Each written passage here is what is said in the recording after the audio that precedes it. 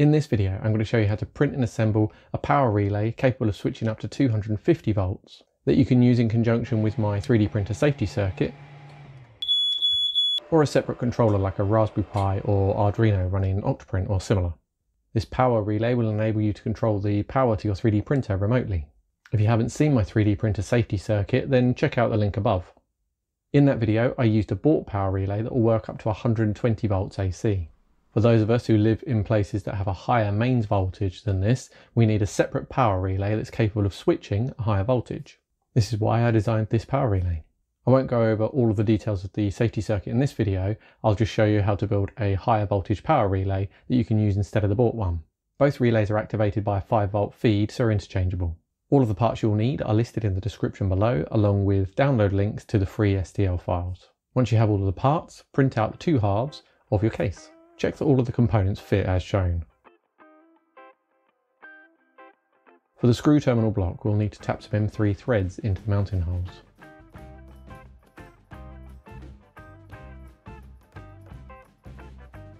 While you have the tap out, tap the four holes for the case screws. Mount the screw terminal block and you're ready to start wiring.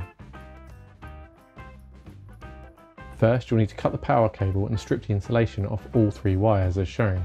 Now I hope I don't need to say that this lead should be unplugged the entire time you're building this relay and should only actually be plugged in right at the end when everything's built and tested. And if you didn't know that cutting the power lead while it was plugged in might be a problem, then I suggest you don't actually attempt any part of this build. Any mistake with mains voltage will very likely lead to death. This is not an exaggeration. Do not work with mains voltages unless you know what you're doing. In fact, doing so in some countries may even be illegal, so check the laws and regulations where you live before attempting any part of this build. Okay, so if you're still with me, I'll assume that you fully understand the dangers and are proceeding at your own risk. Terminate the ends of all wires with spade terminals. I use crimp terminals, which is the safest, most secure electrical connection when using this kind of terminal block. From right to left, the first connection is for both earth wires, the next is for both neutral wires, the next is for only one of the live wires, and the last for the other live wire. This way we have broken only the live wire and have two terminals below that we can connect to our relay. The relay will connect and disconnect these two terminals, effectively connecting and disconnecting our live wire. Before we go any further, we need to add some strain relief to the cables so that if they're pulled, the connections inside will not be affected. This can be done with a couple of cable ties as shown here. The relays that I've used are rated at 10 amps and 250 volts AC. That means that using them for the 240 volt mains we have here in the UK and a 3D printer with a 500 watt power supply is no problem. We now need to connect the common and normally open terminals on our relay to the two live wire terminals on the screw terminal block. Make sure the wire you use here is capable of carrying the current that the relay is rated to. I've used 1.5mm squared, which is the same as about 16 gauge. This matches the wire used in the power lead, which is rated to about 15 amps, which is plenty. If in doubt, just cut a longer section out of your power lead and use that wire. The last thing to connect inside your case is the 5 volt feed side. This wiring connects the 5 volt socket to our relay so that it can actuate the relay. Here we need to create a connection between the DC plus terminal and the in terminal. I did this just with a small piece of wire. We're going to leave the relay jumper pin in the high position, which means both these pins need 5 volts for the relay to work. We then need to connect the negative wire to the DC negative terminal and the positive wire to either of the outside terminals that we just connected together.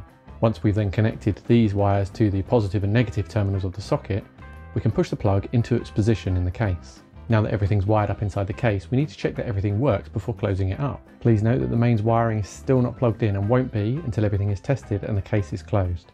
To test the relay, I'm using a 5 volt feed from a USB cable that I've cut. The red and black wires are your positive and negative. Connect these to our plug so that you can plug it into the socket. When plugged into the USB power adapter, you should see a green and red light on the relay.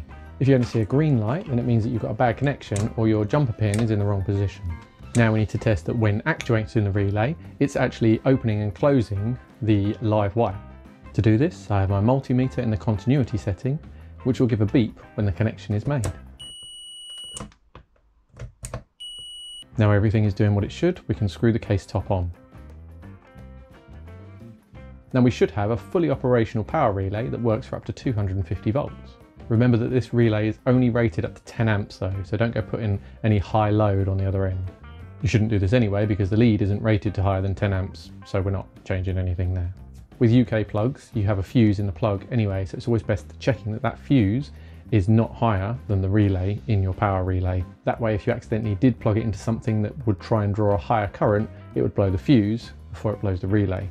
I've calculated that my particular printer only draws about 2 amps anyway, so it's actually safer to put a lower fuse in, put like a 5 amp fuse in your plug, and everything's covered. If you're enjoying any of my content, why not consider supporting the channel by clicking the buy me a coffee link down below. Don't worry, you don't have to actually buy me anything, just click follow and you can see what I'm up to next. If you plan on mounting the relay to any kind of surface like I did, then use the mounting holes inside the bottom before you put the case lid on. You can now plug the power lead into your printer and you'll switch 5 volt feed from either your safety system or Raspberry Pi. If you want to know how to use a Raspberry Pi and Octoprint to control your printer remotely, then hit subscribe and the notification bell and you'll be notified when I release that video. If you don't know what Octoprint is, it's a way of controlling your 3D printer through a web interface and even your phone with the right app. It can enable you to turn on your printer and get everything warming up while you send it a G-code file. You can even tell it to start your print. With a camera, you can even watch your entire print remotely.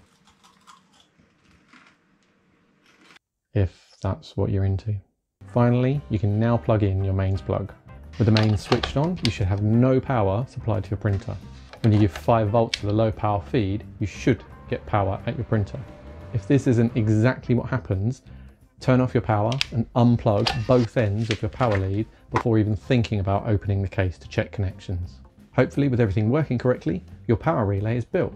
In conjunction with my overheat safety circuit, I now feel happier that there's an added layer of safety ready to shut down my printer before I even know there's a problem.